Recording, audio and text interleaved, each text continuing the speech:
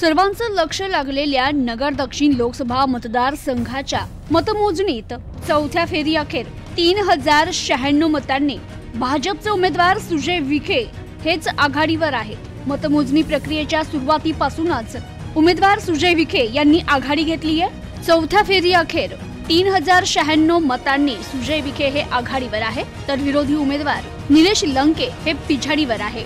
bureau report news today twenty four Ahmednagar